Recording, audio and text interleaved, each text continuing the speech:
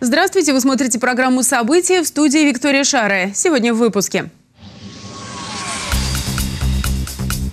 Герои среди нас. В Самаре чествовали тех, кто готов и в горящий дом войти, и спасти утопающего. За успехи в спорте и творчестве 50 юных самарцев в течение года будут получать стипендии городского округа Самара. Хорошо спелись. Самарский хор представит регион на Всероссийском хоровом фестивале. Читают стихи Пушкина и о Пушкине. Сегодня в России отмечают 218 лет со дня рождения великого русского поэта. Поощрили за активность. Волонтерам сегодня показали, как идет строительство стадиона «Самара-Арена». Мошенники под видом работников газовых служб в Самаре неизвестные продают пенсионерам так называемые детекторы газа. Показывают жителям фальшивое постановление правительства и уверяют, без прибора людям грозит штраф. Среди пострадавших не менее десятка самарцев. В ситуации разбиралась Алина Чемерес. Ничего нам не показали. Вот она воткнула. Чудодейственный прибор-спасатель таким звуком должен предупреждать о том, что произошла утечка газа. Только куда его устанавливать и как им пользоваться, говорят жители, им не объяснили. Надежда Кузнецова купила прибор в апреле. Продавцы заверили, теперь такие ставить нужно обязательно, иначе штраф. Мол, существует даже специальный документ. Почти 5 тысяч рублей Надежда заняла у соседей. О том, что спасатель никак не спасает от загазованности помещения, а те, кто его продают, мошенники, узнала позже. Изначально, говорит, все выглядело очень убедительно. Они пришли, как Горгаз. На них были красные вот эти жилеточки. Я поняла так. Газ-контроль. Но ведь официально газ-контроль. Как еще можно не поверить? И удостоверение показали официально все. Как можно не поверить?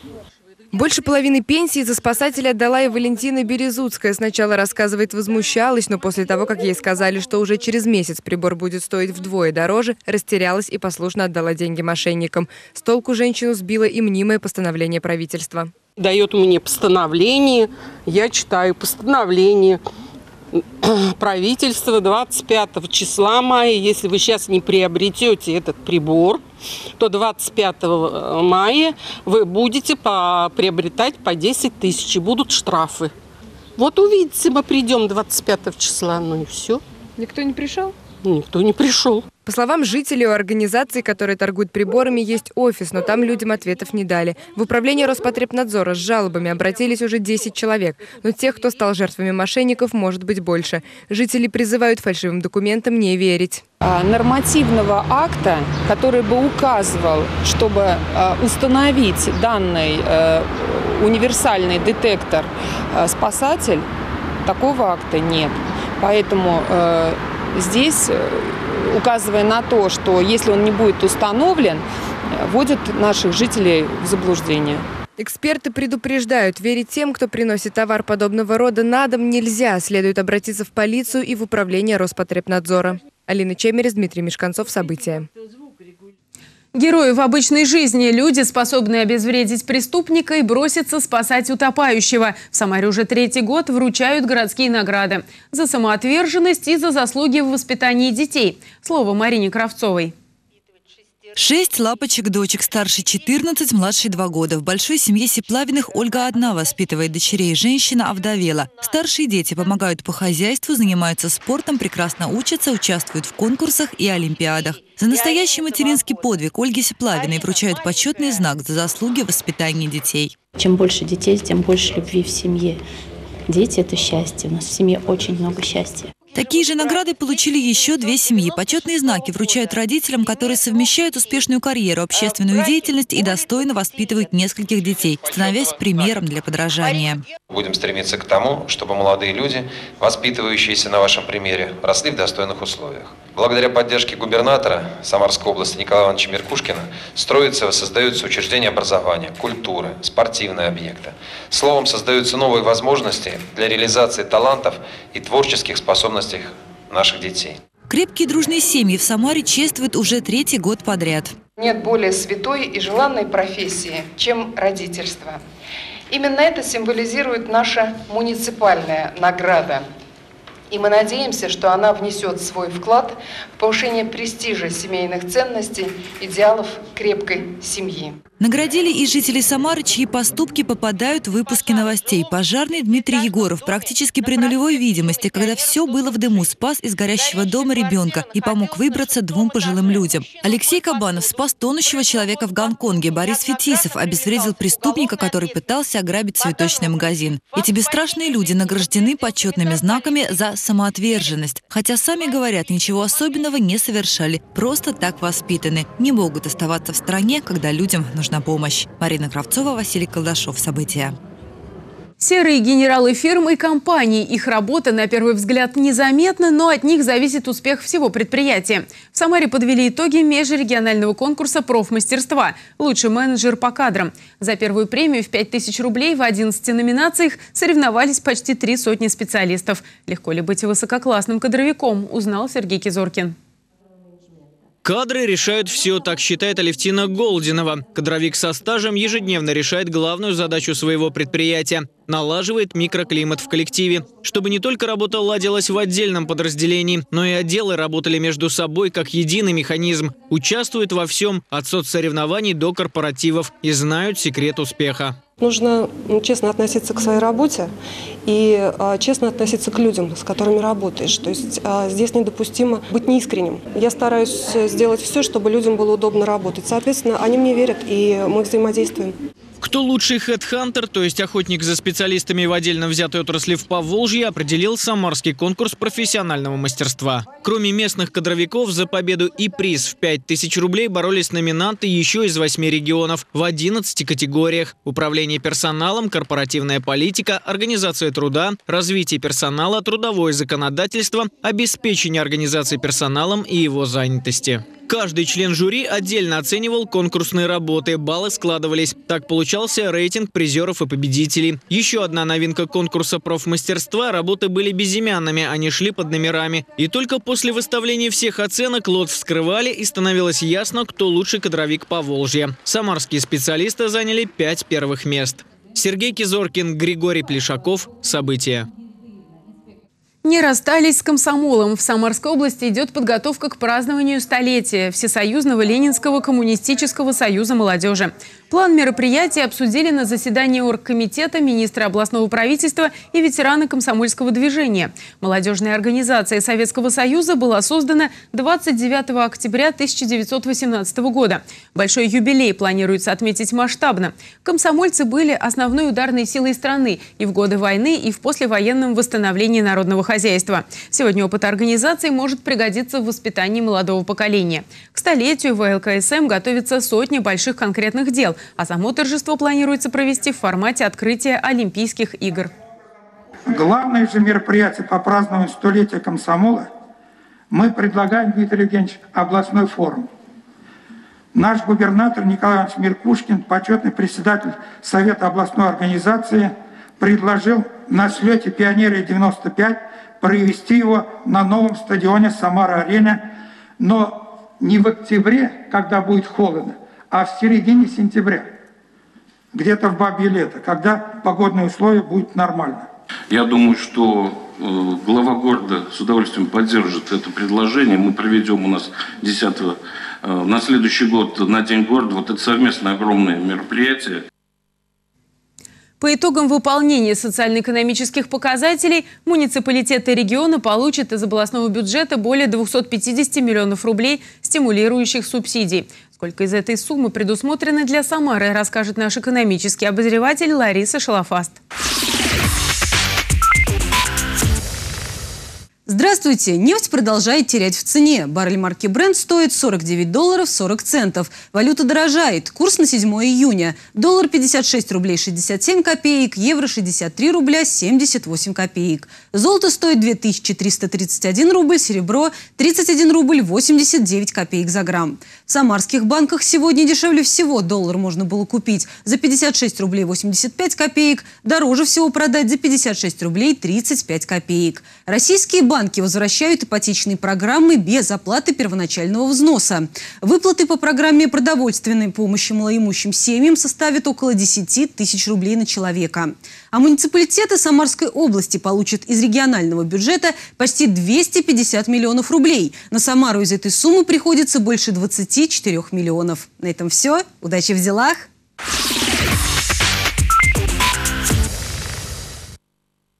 Награду за талант получили сегодня полсотни юных дарований Самары. Ребят, которые достигли больших успехов в спорте и искусстве, поддерживают городские власти. Не только морально, но и вполне материально. В течение года молодые таланты будут получать ежемесячные стипендии. На церемонии награждения побывала Марина Матвейшина.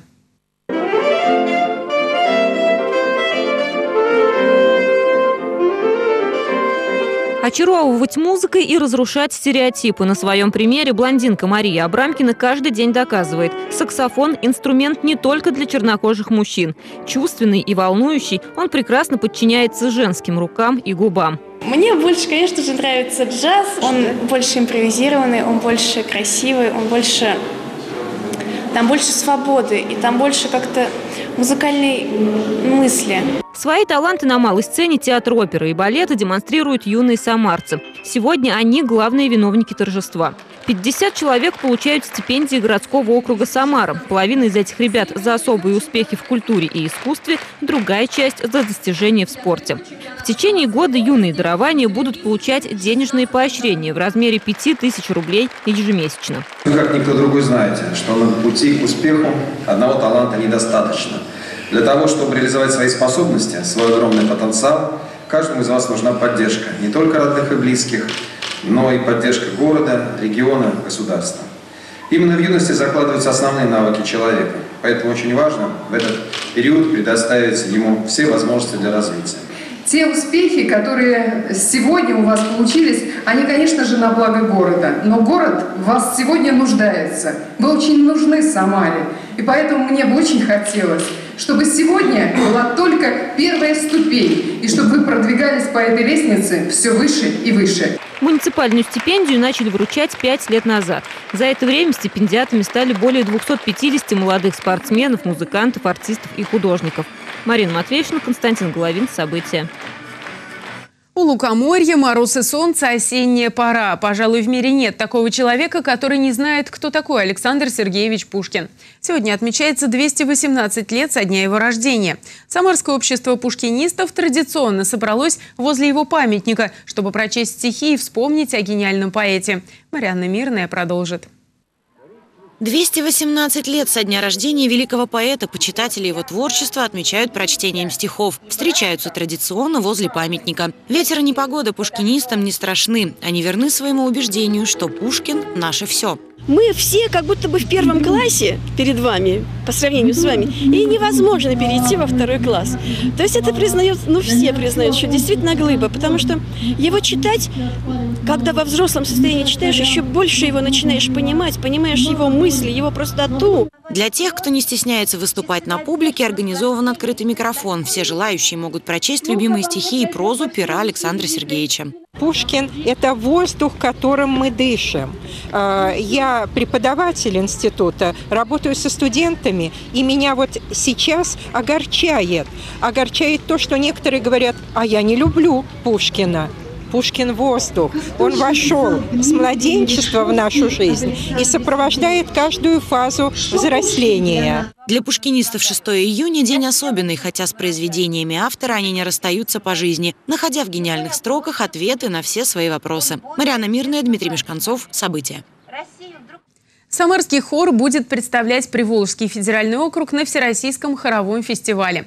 Коллектив детской музыкальной школы имени Чайковского занял первое место на межрегиональном этапе в Нижнем Новгороде. Сейчас хор готовит новую программу. На репетицию к ученицам музыкальной школы заглянула Олеся Корецкая.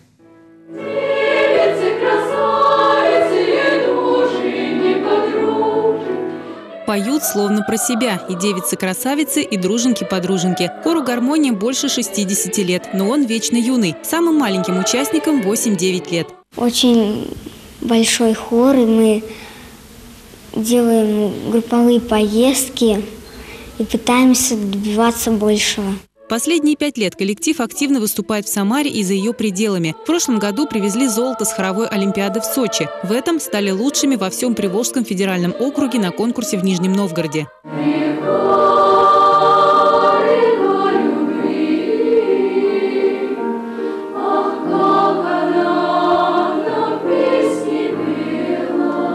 Хоре почти 40 участников, и хотя они очень юные, уже понимают ответственность, которая ложится на плечи всего коллектива, признается их руководитель.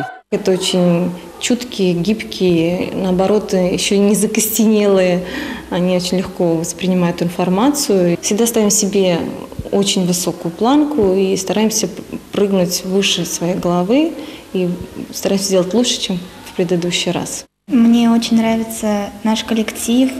У нас много разных, разнообразных произведений. У нас царит такая особенная атмосфера в хоре. Первый раз мне было сначала страшно выступать, но затем я поняла, что вместе мы все сможем. Поют русские народные песни, российские и зарубежные классические хоровые композиции, детские песенки, современные эстрадные произведения. Сейчас готовят программу на финал Всероссийского хорового фестиваля. Он пройдет в Москве осенью.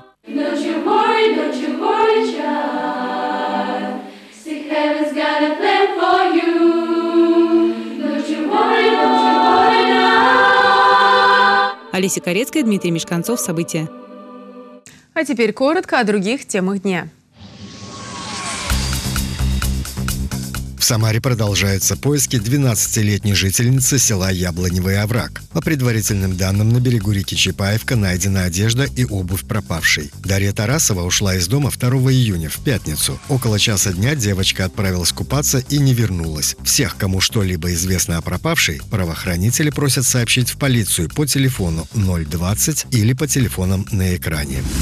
В Самаре возбудили уголовное дело в отношении управляющей компании. Прокуратура железнодорожного района провела проверку законности расходования руководством ТСЖ «Уют-71» средств жильцов дома, предназначенных для проведения текущего ремонта. Выяснилось, что ТСЖ заключила договоры на проведение ремонта с двумя компаниями и оплатила им работы в полном объеме, тогда как ремонт был сделан лишь частично. Сумма ущерба жильцам дома превысила 42 тысячи рублей.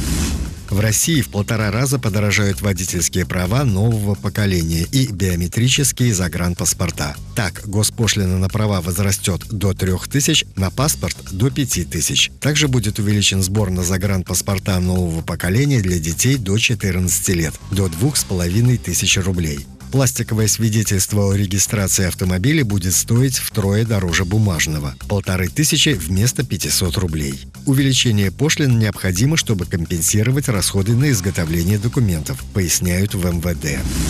Восходы до Ширяева временно ходить не будут. Это связано с резким ухудшением метеорологических условий. Изменение в расписании внесено со вторника 6 июня. Рейс Самара-Тольятти будет ходить по понедельникам, пятницам, субботам и воскресеньям. Самара-Сызрань и Тольятти-Сызрань по выходным. Ложная тревога. В понедельник в 18.20 из-за технического сбоя в работе автоматизированной системы оповещения Самары произошел незапланированный запуск 12 электросирен на территории города. По данным МЧС, неисправное оборудование уже заменено. Система оповещения в Самаре работает в штатном режиме. Самарские волонтеры с нетерпением ждут чемпионат мира по футболу. Работать на стадионе добровольцы смогут через год, а пока самые активные оценили масштабы будущей Самара-арены. Вместе с ними на экскурсию по стадиону отправился Андрей Горгуленко. Самара чемпионат! Волонтеры уже сейчас активно готовятся к чемпионату мира по футболу. Однако встречать гостей, помогать им рассаживаться и комфортно смотреть матчи будут только через год. Но многие из этих ребят потренируют свои навыки уже на Кубке Конфедераций. Конечно же, я хочу посмотреть, как э, в Казани будет организована работа этой функции, чтобы в дальнейшем в Самаре применить полученный опыт казанский и сделать все возможное, чтобы э, у нас в Самаре чемпионат прошел на высшем уровне. На стадионе в Самаре волонтеры будут задействованы в 20 направлениях, среди которых сервисы для зрителей, работа с командами, медиацентр, транспорт и медицина. Помогать в проведении турнира будут 1300 человек, а пока волонтеры восхищаются масштабами будущего стадиона. Нравится все без исключения. И вот эта вот задумка с куполом, и то, что он очень большой, а, красивый, невероятные контуры этого стадиона. А волонтеры, которые сюда пришли, остались довольными. На самом деле он уже очень сильно э, влечет еще раз сюда прийти, когда уже он будет готовым к проведению футбола. На стройплощадку Самары-арены приехал самарский волонтерский актив в составе 60 человек. Те, кто внес наибольший вклад в реализацию промежуточных этапов по подготовке волонтерской программы. Для них это поездка поощрения за отличную работу. Сегодня мы здесь для того, чтобы э, посмотреть инфраструктуру нашего стадиона, познакомиться с ней, э, вдохновиться этим масштабным объектом, потому что это на самом деле сердце чемпионата, да, эти э, масштабные объекты. И для нас очень большая честь посетить и посмотреть стадион на этапе подготовки. Сейчас волонтерские центры продолжают этап отбора кандидатов. К октябрю уже будут сформированы полные списки по функциональным направлениям, после чего волонтеров начнут обучать. Впереди еще много работы, как и у строителей Самара-арены. Сейчас на арене установлен уже 71 консольный блок из 96. Также завершаются работы по укладке сетей стадиона. Вовсю ведется отделка внутренних помещений. Не теряют времени строители и работают на улице.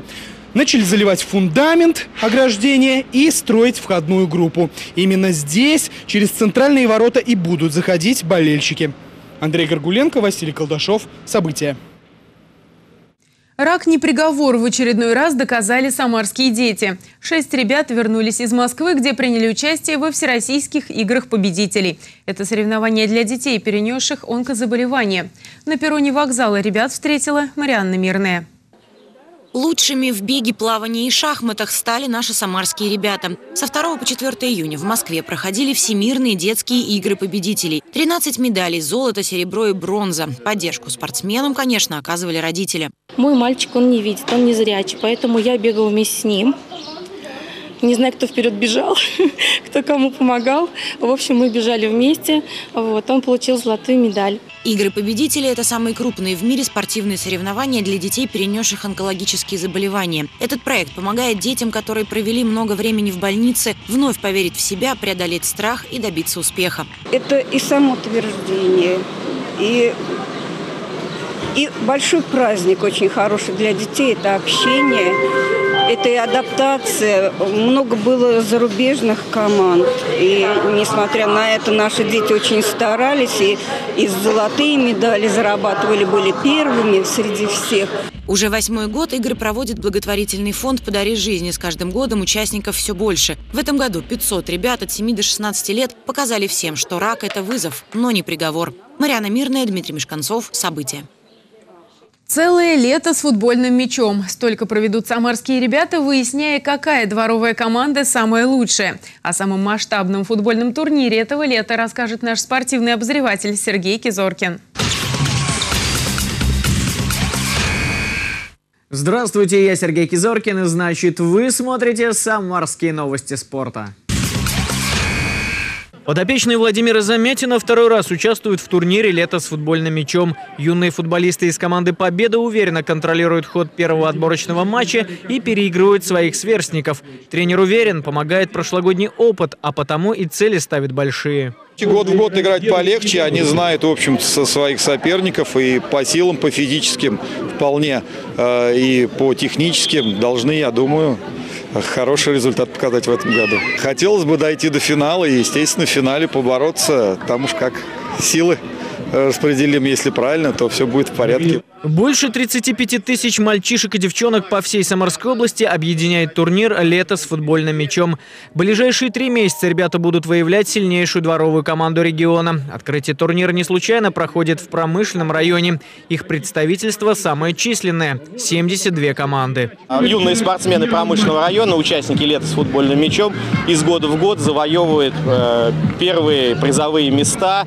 И поэтому промышленный район заслужил своей спортивной подготовкой и успехами. Организаторов радует, что футбол становится и более семейным. Рядом с соревновательной площадкой свои товарищеские матчи играют целые династии.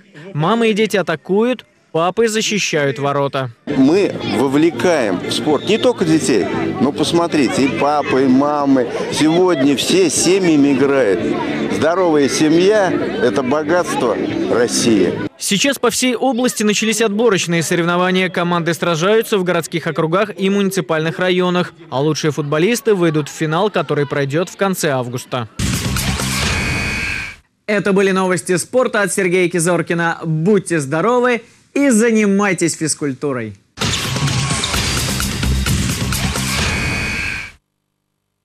На этом наш выпуск завершен. Мы рады вам сообщить, что у нас уже более 13 миллионов просмотров на YouTube. Читайте нас в Твиттере, смотрите на экранах своих смартфонов и планшетов на базе Android и iOS. Всего вам доброго и удачи!